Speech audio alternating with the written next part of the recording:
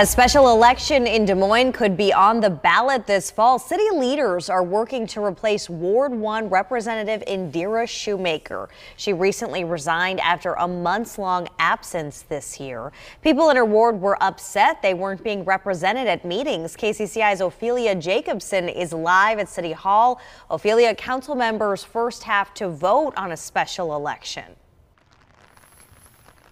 Yeah, Laura, that's right. And tomorrow's city council meeting will be critical. City leaders say a special election in November will save citizens time and money.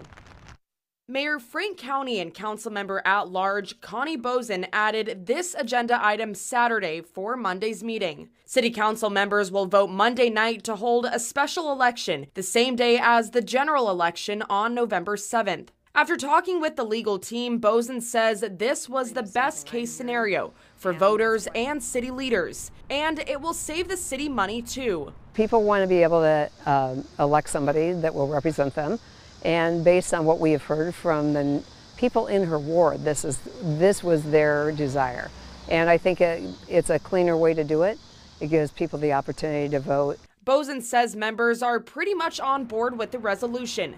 A special election would restore representation for people living in Des Moines' Ward 1 after months of having an absent city council member. Even after Indira Sheumaker resigned, many questions remain unanswered about what happened and where she is. I really don't know if it gives us answers. The thing is that now we have the opportunity to move forward and get representation not only for her ward but also for the total city because when uh, you're short one member, it is impacts all the city also. Boesen says she knows multiple people who would be interested in running for Sheumaker's position. The person elected would finish out the term of Sheumaker, which ends in January of 2026. The filing date for the November 7th election is September 21st. There's a lot of interest, which is good.